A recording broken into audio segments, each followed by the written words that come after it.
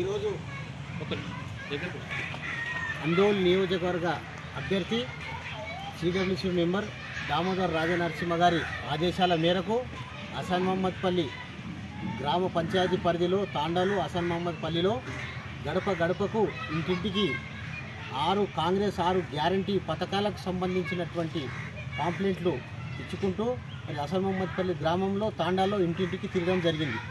ఎక్కడ చూడు నిన్న వెంకటాపూర్ ఈరోజు అసన్ మహమ్మద్ పల్లి ప్రతి గ్రామంలో ప్రతి కులం ప్రతి కులస్తులు కూడా ఈరోజు కాంగ్రెస్ పార్టీకి పాజిటివ్గా ఉన్నారు. వాళ్ళు వెళ్ళగానే మమ్మల్ని స్వాగతం పలుకుతూ ఇప్పటిదాకా చేసిన ప్రభుత్వం చాలు. సార్ మేము మీరు మంచిగా పనిచేయండి మేము మీకు ఓటేయడానికి సిద్ధంగా ఉన్నాము ఓటేసి మిమ్మల్ని భారీ మెజార్టీతో గెలిపిస్తాం సార్ను దామో సార్ను. మాకు మా గ్రామానికి డెవలప్మెంట్ అభివృద్ధి చేయండి. ఇందులో ఉన్నటువంటి పథకాలన్నీ కూడా పేదవారికి అందేటట్టు చేయమని చెప్పి వాళ్ళు కోరిండ్రు. తప్పకుండా కాంగ్రెస్ మాటిస్తే మాట తప్పకుండా పనిచేసేది.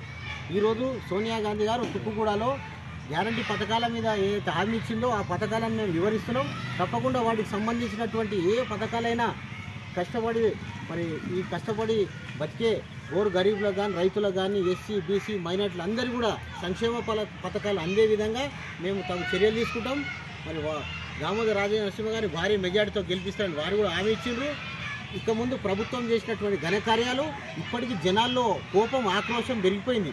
కనీసము ఈ మండలంలో గ్రామాల్లో మరి ఎదుటి వ్యక్తి బీఆర్ఎస్ పార్టీకి సంబంధించిన నాయకులు కానీ అభ్యర్థి కానీ మరి ప్రచారంకి వస్తే స్వచ్ఛందంగా వాళ్ళు ప్రజలు అడ్డుకుంటారు ఇక్కడ కూడా కాంగ్రెస్ నాయకులు కానీ